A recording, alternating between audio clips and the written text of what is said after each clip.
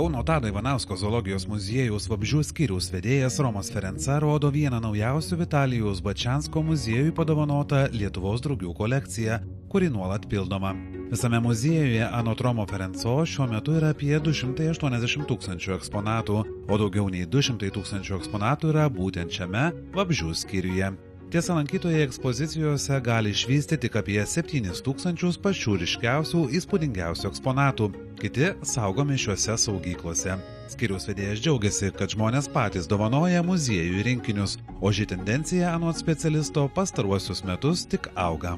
Galiu pasidžiaugti, kad pastaruoju, ypatingai pastaraisiais metais, e, ši tendencija e, na, labai pastebimai suaktyvėjo tiesiog žmonės patys parodo iniciatyvą, dovanoja muziejų rinkinius. Kodėl mes sveikiname tokią tą tendenciją žmonių norą dovanoti? Iš vienos pusės tai ta medžiaga išlieka, tai yra istorija. Ir tai yra viena iš muziejaus funkcijų kaupti istorinius duomenis. Bet kurio muziejus, bet kurios, ar tai būtų karo muziejus, ar, ar bet kuris kitas muziejus, tai yra viena iš funkcijų parodyti tą istoriškumą.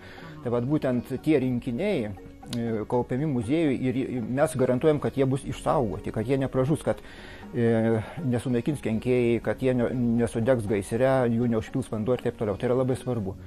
Tačiau, kaip sako Romas Ferenca, daugiausia kolekcijų rinkiniai pasipildo pačių muziejaus darbuotojų pastangomis. Vienas iš tokių pagrindinių kelių, kaip vabžiai patenka į saugyklas, reiškia, į mūsų muziejų, kaip yra pildomi rinkiniai. Tai yra mūsų, reiškia, pačių pastangomis. E, Rinkimo metodai yra patys įvairius, tai yra įvairių konstrukcijų gaudyklės, tai yra tiesiog e, gaudimas rankomis, mechaninis gaudimas, reiškia, gau, e, naudojant šviesos gaudyklės, feromoninės gaudyklės, na, taikom įvairius metodus. Dabar keliaujame į žinduolių skyrių. Skyriaus rinkiniuose yra sukaupta beveik 7000 įvairių eksponatų. Trijose salėse eksponuojama daugiau nei 700 eksponatų. Zoologinę medžiagą žinduolių skyrius gauna iš Respublikos regioninių aplinkos apsaugos departamentų ir agentūrų, Lietuvos ir užsienio zoologijos sodų, fizinių asmenų ir kitų institucijų. Tiesa, vedėjas Vaclavas Gedminas pasakoja, kad visuomenės nariai, norintys padovanoti didesnį eksponatą zoologijos muziejui, to padaryti taip paprastai negali. Taip, jeigu žmonės aptinka negyvą, daleiskim, ar lūšį, ar udrą, nu, daleiskim, nu, kaip pati vienas stambiausių Lietuvos žinduolių, tai yra stumbra, rado negyvą, su juo nieko negali daryti, nei, nei, nei jo imti, nei jo kažkur ten kažką daryti, pasiimti kažkokį kūno dalį, turi būti pranešta tos vietos aplinkos apsaugos agentūrai arba kreiptis į bet kurį ten, netgi departamentą, kad žinotų. Tada jau vyksta tie procesai savo keliais. Reiškia, atvyksta pareigūnas ir nustato visas aplinkybės ir tada tas gyvūnas yra tada patenka arba į muziejų, arba į, kitu, į kitą įstaigą. Vaclavo Gedmino klausime, kaip į muziejų pateko žirafos iškamša patekimas irgi yra iš Lietuvos zoologijos sodo. E, visų pirma, ir pati istorija atvykimų žirafų būna įdomi. Man pačiam teko juos transportuoti, kada dirbau zoologijos sode, tai yra įmami uždengti e, vagonai, kuo aukštesni, yra labai aukšti palyginti, kad tik tai pralendantis pro visus tunelius, tai va taip yra transportuojami ir, ir šitą žirafą dėl e, susirgymų savo buvo, reiškia, dėl papuolimo ant eretų. Tai čia yra šiuolaikiškai paruošta, yra atlieja padaryta dalimis, paskui buvo čia pabaigta viduje, o buvo daroma e, jos e, iškamša ruošiama laiptiniai, kad būtų aukšta, au, aukštis išnešti, nes visgi tai yra aukštas gyvūnas. Dar vienas kelias, kaip gyvūnai patenka į zoologijos muziejų, tai iš brakonierių konfiskuoti neteisėtai sumedžioti gyvūnai. Lūšis įva šitie du, jie irgi turi savo istoriją.